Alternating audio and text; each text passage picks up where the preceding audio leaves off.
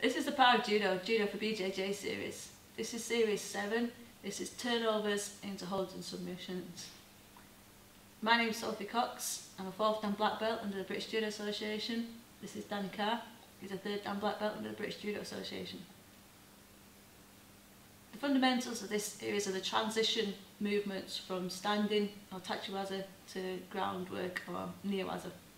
And being able to get your partner onto the back in a controlled fashion um, or straight away into a position where you can get a submission, uh, get a submission from there.